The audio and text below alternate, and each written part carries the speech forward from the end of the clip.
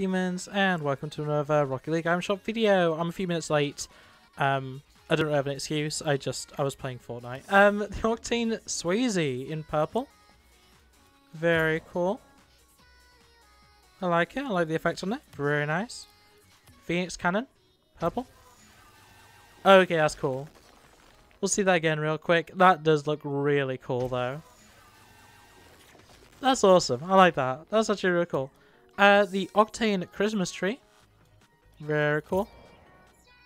Very Christmassy. Like it. Titanium White Twister. We have the uh, Forest Green Crooks.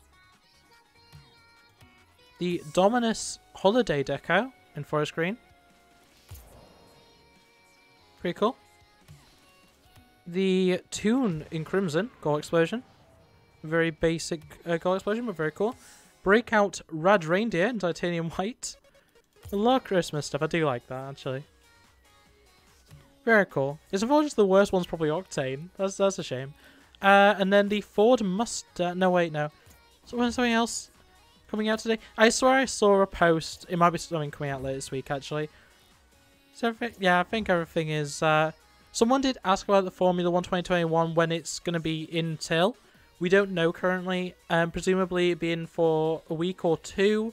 Usually packs like this stay in for about a week from first arrival, so there's probably like four days, maybe, left on this. But in any case, that's going to be it for the shop. Thanks for watching, like, subscribe, all that jazz, and I'll see you next time. Bye!